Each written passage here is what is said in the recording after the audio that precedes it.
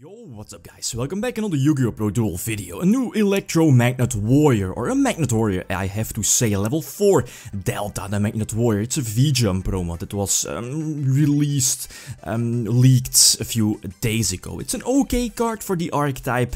Its most important effect, it's it's its uh, first effect. It's, uh, it's pretty much an Armageddon Knight for you for your Magnet Warrior. So when it's normal or special summoned, you can send any level 4 or lower Magnet Warrior from your deck to the grave. Its second effect isn't really too important unless you're running Valkyrion, when your Delta, uh, the Magnet Warrior, is sent to the grave, doesn't matter from where, it's just sent to the grave. You can special summon a Valkyrion from your uh, deck, for example, on your side of the field if you banish three Magnet Warriors from your grave. It's okay, but outside of a dedicated fusion build, you're not really running Valkyrion. Um, Anyway, Delta is an okay card, you can run your field spell, your magnet field now has, uh, has a purpose, a big purpose here in the deck, but let's see a few example games. Right, um, first duel against Subterrors, I believe this should be my updated build of Subterrors with Brilliant Fusion as well. Excellent to get an extra summon, especially for Nemesis. You know Nemesis, the, the, the big lone flyer of the deck. I get to start, it's an okay hand. Normal summon to get a Search, Search the, the big, what is it called, a Parisian or something like that.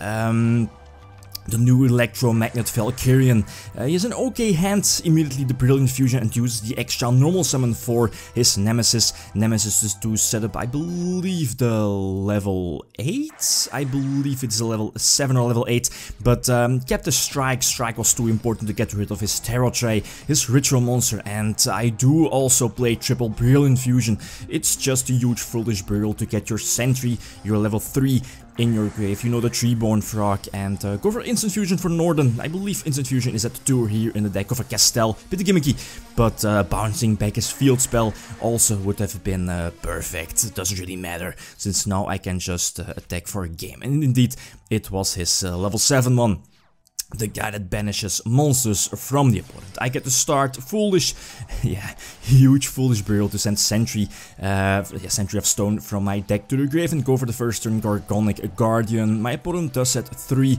uh, uses Maxi, the Block Golem in my hand, not really too great.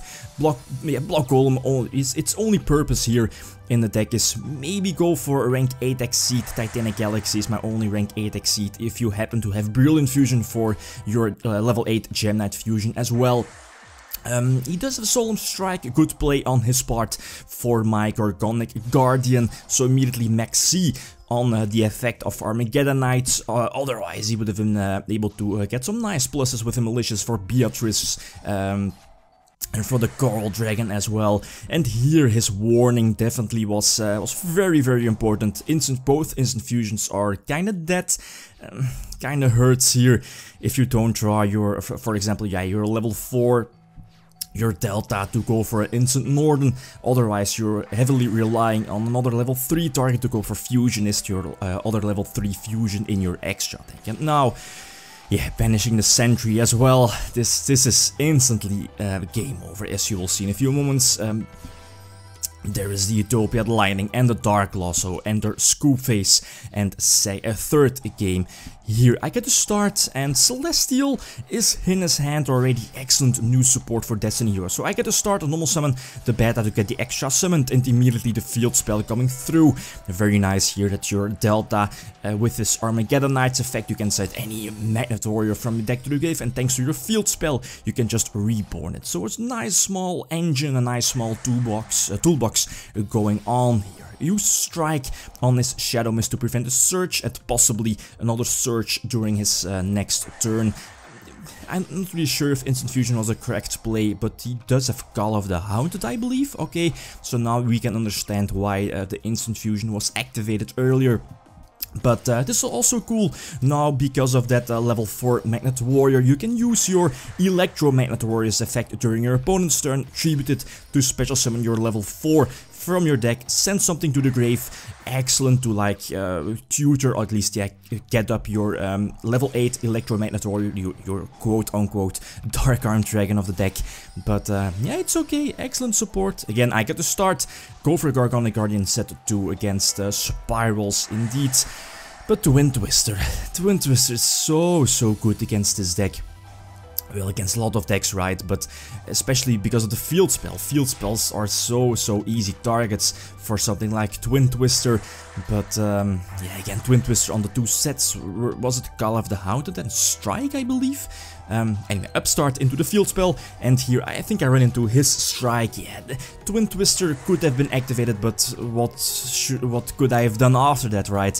I needed one extra card to discard uh, and then, yeah, use the field spell, and with that Electromagnet Warrior of the field, reborn something and go for a rank 3 and go from there, but his strike definitely won him the game. He goes for Catastor, which runs into a bottomless Trap Hole, but the instant fusion into Trishula, into his uh, Premature Burial is going to seal the deal here. So I'll lose this one, but again, excellent draws on his part, and very unfortunate on my part that he did have his uh, strike set earlier.